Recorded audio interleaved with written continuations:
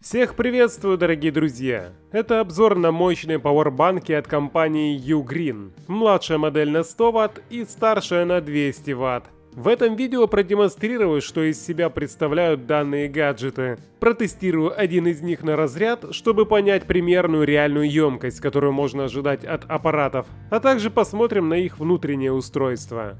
Кстати, ссылки на эти пауэрбанки будут в описании. Итак, начну обзор с младшей модели на 100 Вт. Полные ее характеристики указаны на коробке, а также на корпусе. Пауэрбанки поддерживают разные режимы быстрой зарядки как своих собственных батарей, так и при зарядке потребителя. Устройства, подключаемые по USB-C, могут заряжаться вплоть до напряжения 20 вольт и тока до 5 ампер, что как раз таки составляет заявленную мощность в 100 ватт. Не побоялся, подключил к нему свой смартфон Samsung S21 Plus. Он заряжается от пауэрбанка в режиме супер быстрой зарядки. То есть все заявленные режимы зарядки должны работать. Батарея у данного устройства литий-ионная, емкостью 12 ампер-часов или 44 ватт-часа. Комплект поставки включает в себя помимо самого устройства кабель USB-C и инструкцию. Корпус выполнен лаконично, одна кнопка и пара разъемов. Больше ничего не выделяется. Также имеется экран. При нажатии на кнопку на него выводится текущий заряд батареи. Powerbank заряжается от устройств, поддерживающих функцию быстрой зарядки. Например, при подключении к моей тестовой зарядке он заряжается током 1,6 ампера при напряжении 12 вольт. Это максимум, что поддерживает моя зарядка. В таком режиме Powerbank заряжается от 50 до 100% за чуть более 1 часа. То есть на полную зарядку уйдет примерно 2 часа, если использовать зарядное с такими же характеристиками, как у моей. Для тестирования на разряд я использую нагрузочные резисторы. Ток разрядки примерно 1,8 ампера, напряжение 5 вольт. В таком режиме Powerbank отдавал мощность в течение почти 4 часов. До полной разрядки отдал 7000 мАч, что составляет 35 ватт-часов.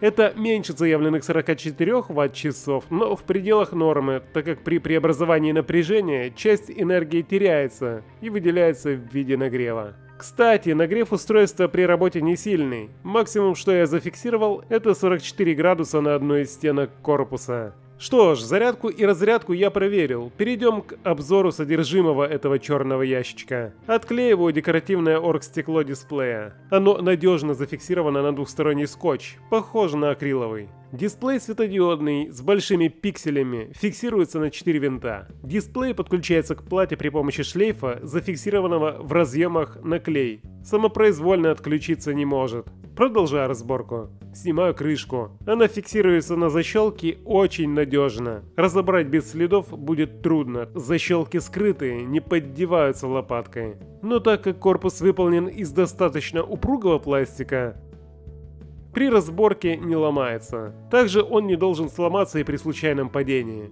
Внутри располагается батарея и плата электроники. Платы закреплены на винты, а батарея приклеена на герметик, из-за чего достаточно тяжело ее извлечь. Аккумуляторы в батарее крепятся в холдерах. Надежная конструкция. Так выглядит BMS. Не вижу здесь нагрузочных резисторов системы балансировки. Скорее всего ее тут вообще нет. Поэтому через года два батарея потребует замены из-за разбаланса аккумуляторов. Впрочем, это норма для современной техники. Напряжение на батарее 16 вольт, то есть это сборка 4S 1P. Электроника устройства состоит из двух плат.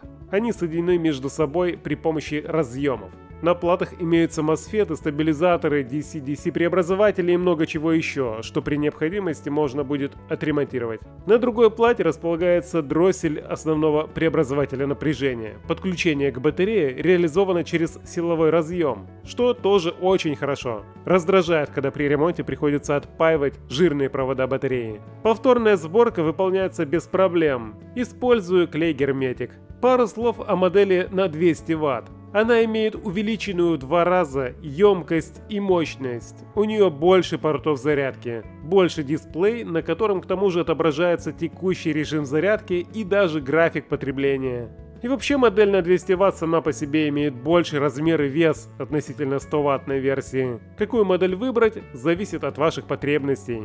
Что ж, подведем итоги. Пауэрбанки Ugreen представляют из себя добротные устройства с надежными корпусами, качественными батареями, собранными на холдерах, и поддержкой стандартов быстрой зарядки, которые используются в самых разных современных устройствах, от смартфонов и до ноутбуков. Подобрать для себя подходящую модель можно исходя из ваших потребностей. Если планируется заряжать устройство типа наушников, смартфона или планшета, то подойдет младшая модель на 100 Вт. Если же предполагается заряжать ноутбук или условия работы предполагают долгое отсутствие электричества, то порекомендую модель на 200 Вт. Количество пауэрбанков выбирать по вкусу. Еще раз подчеркну, что купить эти пауэрбанки вы можете по ссылке в описании. Что ж, дорогие друзья, на этом сегодня я заканчиваю. Благодарю вас всех за внимание и до скорых встреч!